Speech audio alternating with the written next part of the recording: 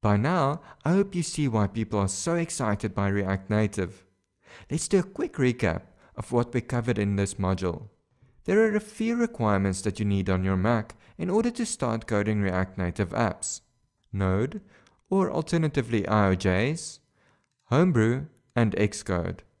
You don't strictly need Homebrew, but it's a nice way to install necessary stuff from the command line.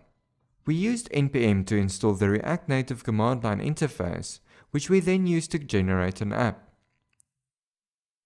We learned that you sometimes need to run npm install in order to install all the required packages when we wanted to get the movies example up and running.